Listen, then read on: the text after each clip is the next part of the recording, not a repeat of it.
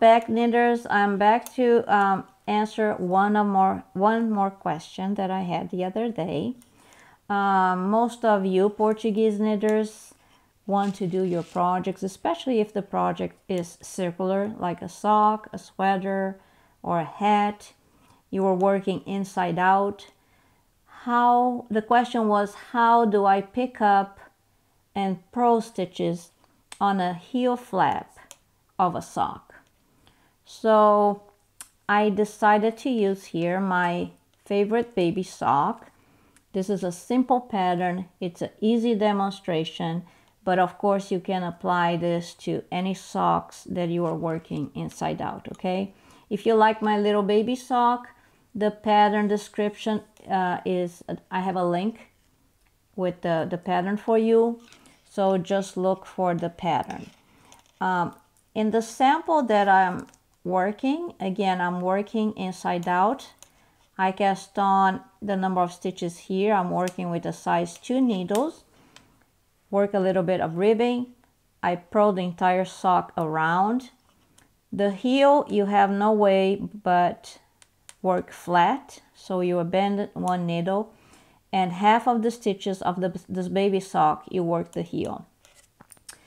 To reinforce the heel flap, even though babies don't walk and, and wear out socks like adults do, um, this sock could be a sock for an adult. So to reinforce this heel, you might use uh, nylon yarn and you might use a stitch pattern like this where I knit one and slip one purlwise every other stitch and it makes a thick and cushy kind of heel flap okay so I did the heel flap I abandoned this needle with the heel flap and now with my third needle I'm gonna pick up and purl stitches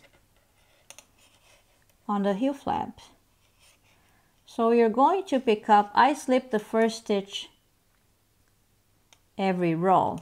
That makes it really easy for me to come back and pick up on the side of the flap because you get this elongated beautiful V here. I'm going to go in the first V from back to front I am going to purl the stitch and I have to give some tension here to bring the stitch to the other side. Well, let me look, you know, let me use the lace point, which makes it easier. If this is too hard, you can use another needle to pick up.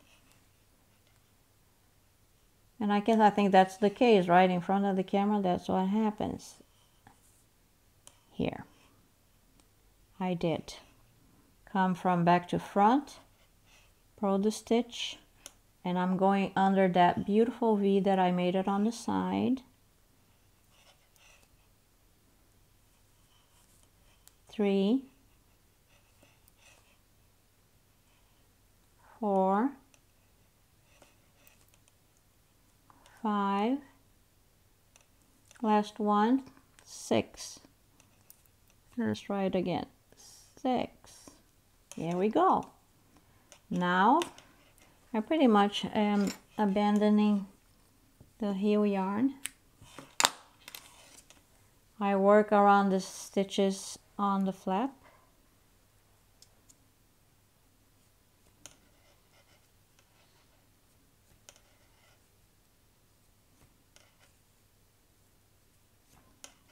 And I'm gonna have to rearrange here my stitches so I can uh, have a needle free to show you the other side but it would be the same thing. I will get half of those stitches that I left waiting on this needle. I believe there are 16 so I'll get eight past one two three, four, five, six, seven, eight.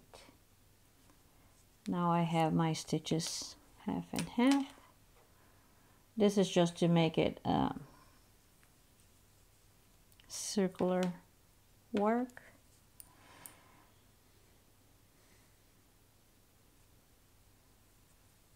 Let's finish this. I'll have to rearrange the other side when I'm done.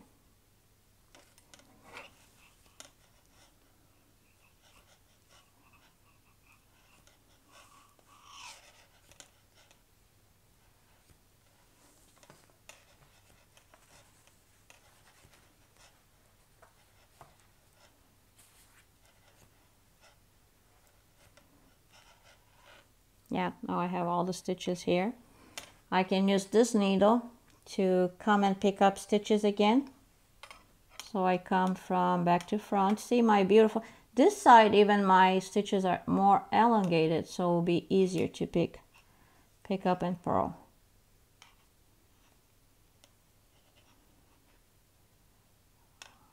uh, well what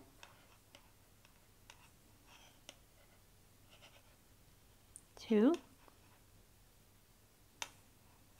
three, and the color of the yarn is contrasting now makes it easier for you to see. Four, five, and six.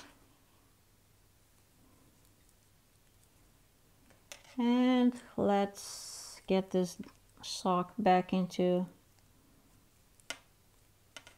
the mold of sock of three needles. I'll show you what I mean. And from this point on, you're working circularly again. And you're going to follow the pattern. I had to lift this up. It's making noise on the table here. One more. I have I'm trying to divide the sock in half so I will pick up half of the stitches on this heel and transfer to this needle. I hope I don't confuse that. If you are used to knit socks, you know what I'm doing. I'm just managing my needles here. The point of this video was to show you how to pick up or pick up the stitches on the flap and by rearranging the stitches I'm back on circular mode. And from now on you would follow the pattern working circularly. But the flap stitches are picked on both sides. There